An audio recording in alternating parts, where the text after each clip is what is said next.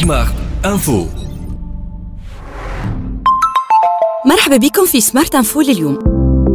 الأسبوع الثالث من شهر نوفمبر هو الأسبوع العالمي لريادة الأعمال la semaine mondiale de l'entrepreneuriat وبداته الولايات المتحدة الأمريكية من 2007 وبعد التحقوا بها برشا دول. والجمعة هذه وشهر نوفمبر بصفة عامة يصيروا فيها plusieurs forums و des salons pour les entrepreneurs et les start-up في برشا دول في العالم ومنها اللي في تونس.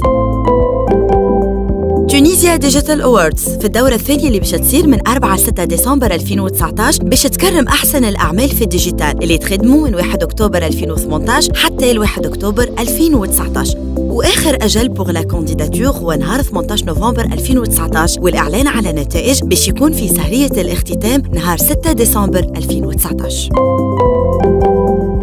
Smart Tunisia Job Fair 2019 في القطب التكنولوجيا الغزالة بتونس العاصمة نهار 28 نوفمبر 2019 ونهار 10 ديسمبر 2019 في l'école d'ingénieurs de Sousse والصالون هذايا باش يكون مخصص لعروض التشغيل في ميدان تكنولوجيا المعلومات ويصيروا فيه des entretiens d'embauche et coaching personnel مع مجموعة من أكبر الشركات التكنولوجية في تونس. المجلس الإفريقي لرواد الأعمال الناطقين باللغة الفرنسية. يختار تونس باش تنظم النسخة الثالثة من CAJEF Business Forum 2020 وكان الاختيار هذايا بمناسبة انعقاد الجمعية العامة للمجلس في الكوت ديفوار بين 7 و 8 نوفمبر 2019 ويعتبر ال forum هذايا فرصة للجمع بين رواد الأعمال الشباب والخبراء الأفارقة للتبادل وإبرام اتفاقيات ثنائية.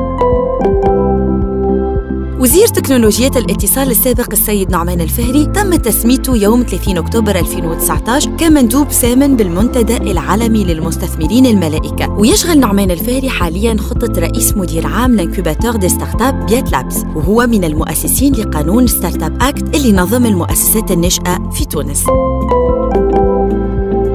20 مليون أورو هي قيمة الموارد المالية اللي تحصل عليها صندوق دعم المؤسسات الناشئة التونسية خلال منتدى الاستثمار الإفريقي اللي انعقد بجوهانسبورغ من 11 ل 13 نوفمبر 2019 صندوق هذا اللي راس ماله 320 مليون دينار يهدف إلى تشجيع الاستثمار والتجديد عند الباعثين وأصحاب المبادرات من الشباب لإنجاز مشاريع مجددة وذات محتوى تكنولوجي عالي. شنو معناتها؟ start-up؟